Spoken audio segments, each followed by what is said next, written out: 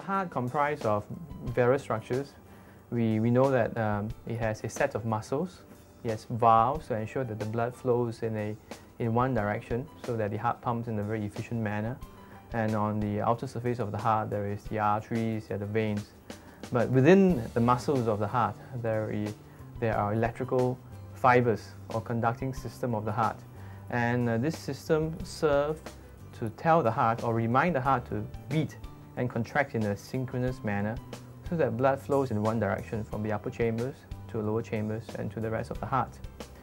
So uh, there, will be, there will be patients with disease involving the conducting systems of the heart and as such they are not able to tell the heart to beat perhaps in a synchronous manner and it is in these patients that perhaps a pacemaker might be needed.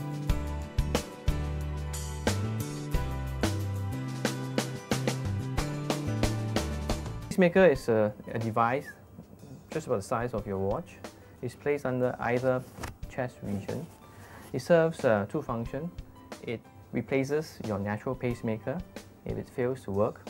So what it does is it sees what the heart does. If the heart fails to beat after a certain time, this pacemaker will send a electrical impulse to your heart and reminds your heart to contract.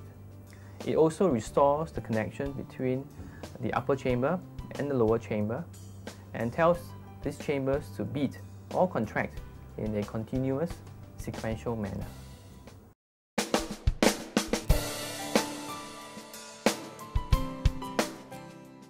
Uh, yes and, and no. Of course, if one leads a healthy lifestyle and prevents a heart attack, he would be at a, at a lower risk of needing a pacemaker. However, if they do get a heart attack, as mentioned previously, a heart attack may impair the function of the natural pacemaker.